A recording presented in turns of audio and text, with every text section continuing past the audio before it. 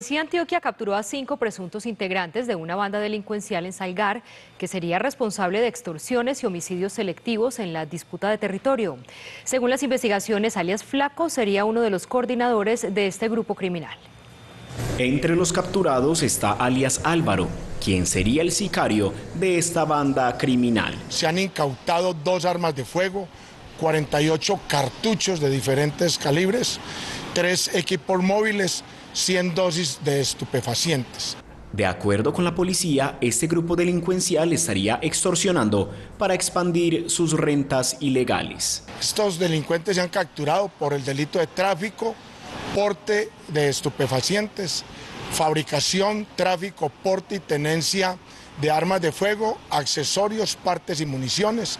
Se han puesto a disposición de la autoridad competente. A los detenidos se les dictó medida de aseguramiento intramural.